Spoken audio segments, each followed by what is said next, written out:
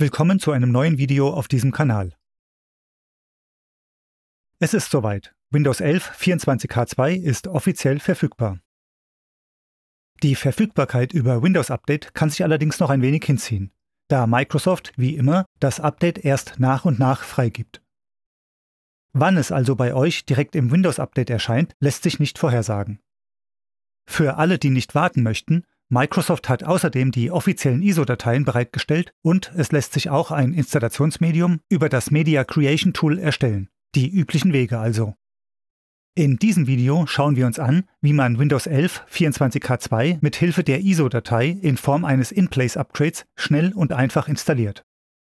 Beachtet, dass Windows 11 in der Version 24H2 gesteigerte Hardwareanforderungen hat.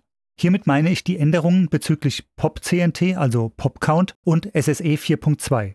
Solltet ihr also eine ältere CPU verbaut haben, vor etwa 2012, solltet ihr auf jeden Fall prüfen, ob eure CPU diese beiden Funktionen unterstützt, bevor ihr mit einem der bekannten Tricks die Hardwareprüfung umgeht. Also gut, beginnen wir direkt mit dem Download. Wir starten den Browser unserer Wahl und rufen die folgende Seite auf.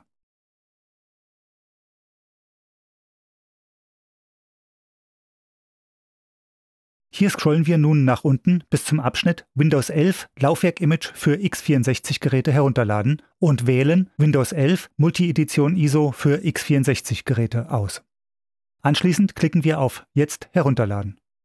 Nach einem kurzen Moment müssen wir die Produktsprache auswählen. Achtet hier darauf, dass ihr die gleiche Sprache auswählt wie die, die ihr gerade nutzt. In meinem Fall ist das Deutsch. Jetzt klicken wir auf Bestätigen und bekommen kurze Zeit später den Download angeboten. Jetzt noch auf 64-Bit Download klicken und warten, bis der Download abgeschlossen ist.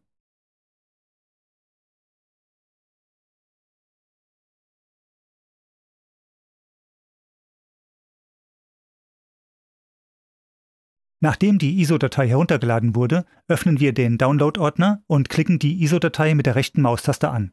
Hier wählen wir jetzt Bereitstellen. Falls Bereitstellen bei euch nicht verfügbar ist, das liegt meist daran, dass ein anderes Programm die Dateiendung ISO für sich beansprucht hat, dann könnt ihr alternativ auf Öffnen mit zeigen und hier dann Windows Explorer auswählen. Beides hat die gleiche Wirkung. Die ISO-Datei wird nun bereitgestellt. Das erkennt man an dem virtuellen DVD-Laufwerk, welches ein Windows 11 Installationsmedium abbildet. Wir haben also jetzt quasi ein Windows 11 24H2 Installationsmedium eingelegt, von dem aus wir das Setup starten können. Zum Starten des Setups klicken wir nun einfach die Datei Setup doppelt an. Die Installation von Windows 11 24H2 startet.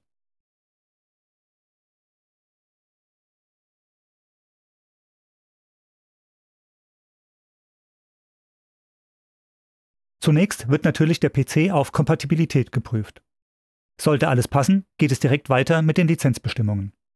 Falls nicht, wie hier zu sehen ist, müsst ihr auf die Installation verzichten oder die Kompatibilitätsprüfung umgehen. Umgehen könnt ihr die Überprüfung beispielsweise, indem ihr das Setup über die Eingabeaufforderung mit dem Schalter Product Surfer startet.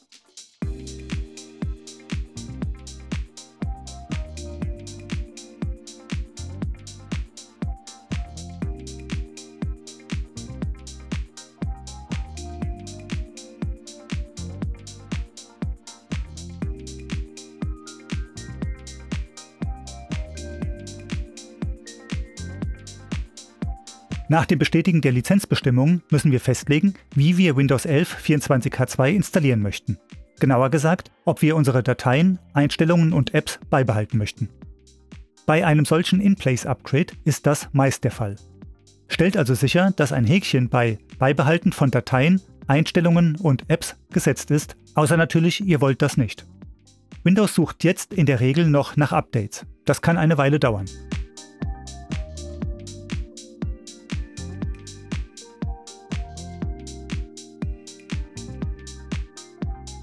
Danach sehen wir noch eine Übersichtsseite, die uns zeigt, was nun passiert. Hier können wir auch noch einmal prüfen, ob das Häkchen zum Behalten von Dateien, Einstellungen und Apps auch wirklich gesetzt wurde. Mit einem Klick auf Installieren geht es dann auch endgültig los. Windows 11 24H2 wird installiert. Wie lange das Ganze nun dauert, hängt von eurem PC ab. Der PC wird während der Installation gegebenenfalls einige Male neu gestartet und am Ende landet ihr im Anmeldebildschirm von Windows 11 24H2.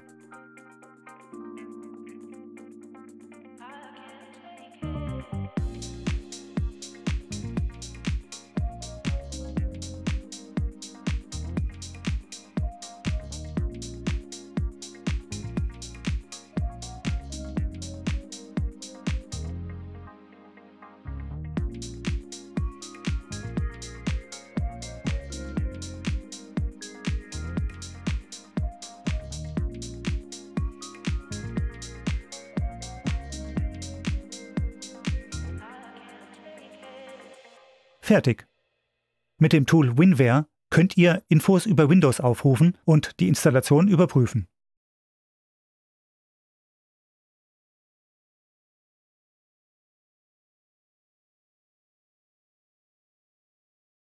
Was Windows 11 24H2 an Änderungen mit sich bringt, seht ihr auf dieser Seite hier.